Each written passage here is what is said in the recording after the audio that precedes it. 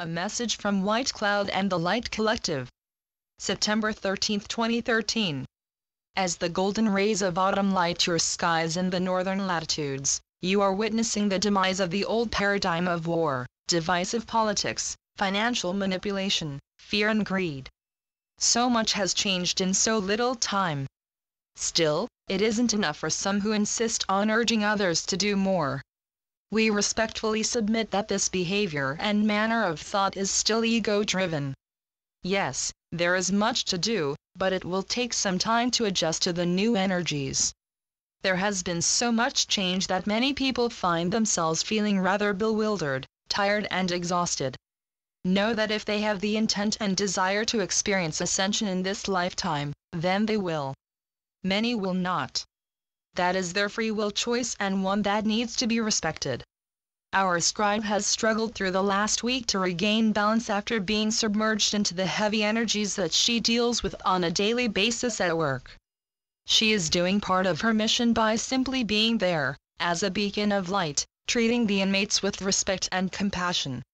A human angel in disguise, she is simply being what she is, in doing her job. It is quite enough to deal with right now, and challenging enough without getting more immersed in protests and other outer manifestations. Each of you has a reason for being where you now find yourself, whether living in relationship, having a big extended family or living alone, without family. You are where you need to be, or you would be actively changing, or will be soon changing location, work, circumstance when the inner desire overpowers any lingering fear your human ego may still retain in regards to making changes in your life. The rainbow of light workers now embodied on the planet is very colorful indeed. You are from so many different worlds, dimensions, galaxies and universes. Some of you have never existed in form before. It is a challenge just to walk around and be relatively normal.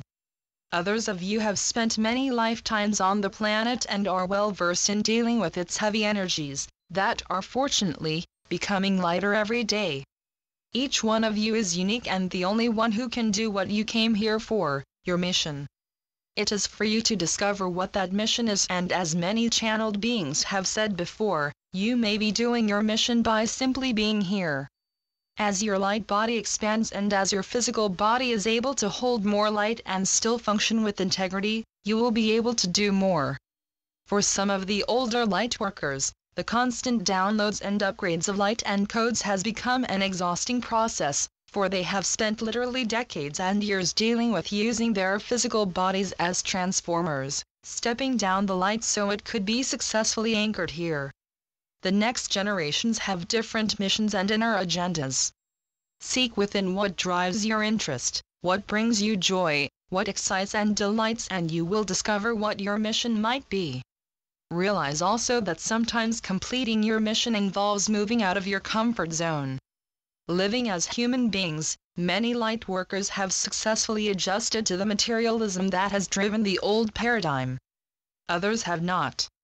Some struggle financially, emotionally, psychically and physically. All these experiences have merit and have been designed by the soul as possibilities before embodiment. It is so very important not to judge anyone for what they are doing or not doing, for in doing so you are still acting out of polarity and ego. It is coming to the awareness of some of the leading edge light workers that the dark ones that they have opposed have acted to the benefit of the light without the blatant over-the-top, aggressive warmongering, crazy financial manipulations, regressive and repressive laws, militarized policing of the public, focused attacks on common law and the Constitution, and other posturing by the powers that were, the people would not now be waking up. Every person who has sacrificed their life, living or health, the sight of every injured soldier, every desperate homeowner, every unemployed citizen has compelled the citizens of the world, with a semblance of awareness outside themselves, to look the paper tiger in the eye and see it for what it truly is. A chimera, an illusion designed for one thing, to control the world, through destruction, darkness and chaos. People are discovering that they are powerful, in and of themselves, and they are in the process of taking back that power. That is their mission.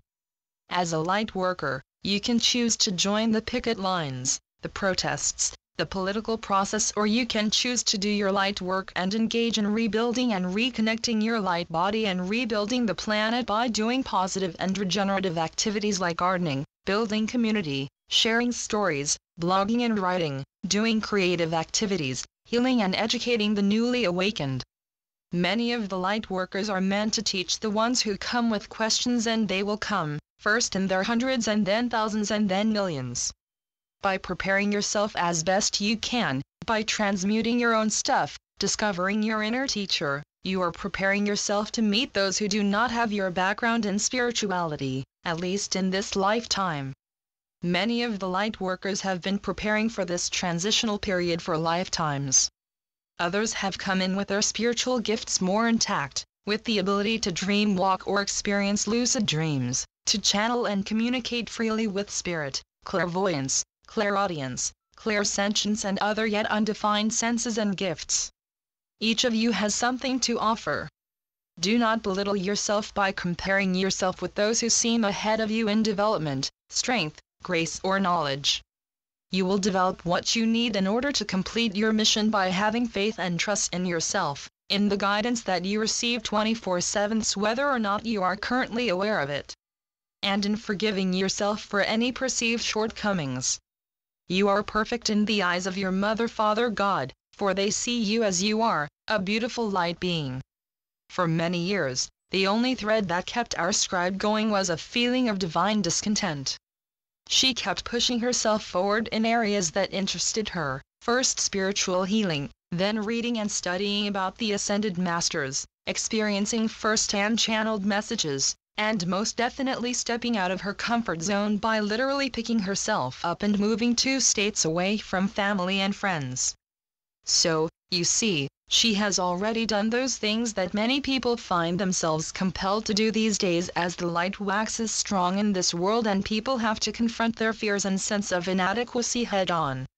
She may move on when the time is right, but it is not now. Through the power of the internet, she can reach seekers and others who resonate on or near her wavelength, through the magic of the written word. No, world peace will not emerge due to her work, but perhaps small changes will emerge through some of the individuals who she touches with the energies we plant within her communiques. Sometimes just the experience of feeling the supportive, loving energies after a difficult day is all one needs to motivate them to do a little more for themselves in terms of their individual spiritual journey. We do not seek to build a religion or change people's minds or to influence them to do things. Each of these things is up to the free will and soul contract of the individual involved. Also, we will work with those who reach out to us, in order to learn, to expand, to heal and to grow. For those who are not ready to communicate with us or even to believe in us, we respect their free will and choices.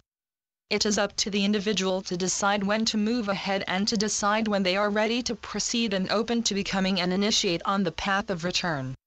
Sometimes that decision comes after much pondering. For others, in an instant, the heart opens and the person never looks back on their old life. For those light workers who have embodied upon the planet and have not yet awakened, know that their wake-up call may be a little more forceful than what you may have experienced yet do not judge. Experience is what each soul desires and experience comes in many different ways. No one person is better than another and this equation includes those who have been called the dark. Someone had to volunteer to play the villains in this game and they have done so with gusto. Condemnation is judgment. You have all played different roles, on this planet or on another, at various times during your journey and so it is with those who are currently experiencing the abrupt downfall of all their long-held hopes, dreams, beliefs and yes, their truths. Learn to free yourself of judgment, of one another and mostly especially of yourself. One cannot go forward into ascension without releasing this to God and to the loving energies of the violet flame for transmutation. All the living beings upon the planet, including animals and all living creatures, humanity, the elementals and unseen helpers, those who exist in different dimensions and worlds within the world, all of you create a collective consciousness, beautiful in its diversity of color, light and love. those of you who currently exist in human form are in the process of putting off the limiting thought forms of the departing paradigm. We encourage you to allow your horizons and understanding of self to expand much, much wider than ever before and still your dreams will not match what is yet to be revealed. You are truly magnificent in the midst of your turmoil and striving. Humanity's collective heart is expanding and with that growth, the ability for the light to expand and penetrate into the hearts of the sleeping majority of the world's population. Yet even the most skeptical of light workers must realize that the sleepers have and are awakening quickly.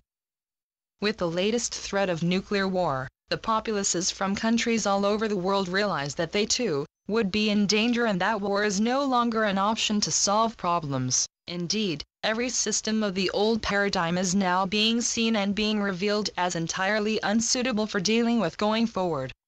Understand that it is in your very nature, imprinted in your DNA, to be positive, loving beings.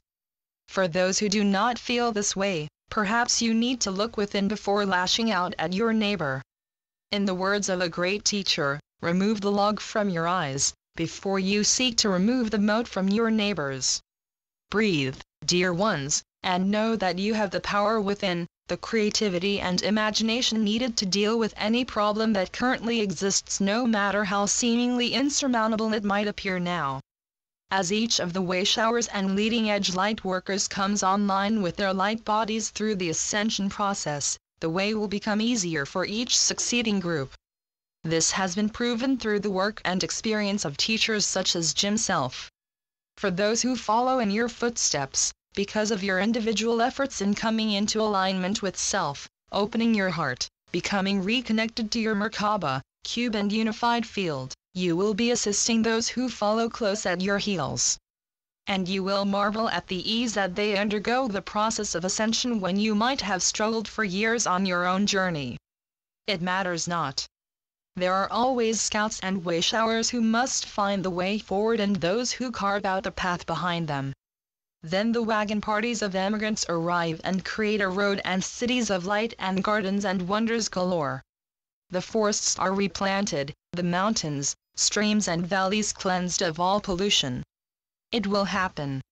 It is happening. Dream the dream and go forward on your own path. You will be followed. You will be honored for what you do and what you are, the bravest of the brave, the strongest of the strong.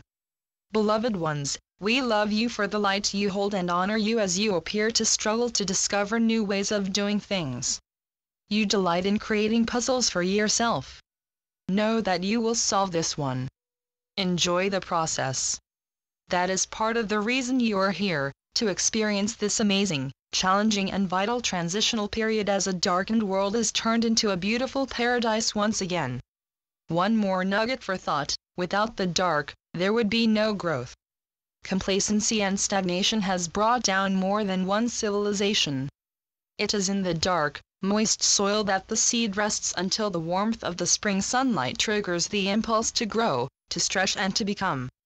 So it is with this world. Dark and light are indeed a polarity, a mystery and a paradox, one on which to ponder in a quiet moment. Now is the time of return of light to this world, this galaxy and this universe. It must start small, but the ripples will affect worlds unseen, far beyond the edges of your present awareness.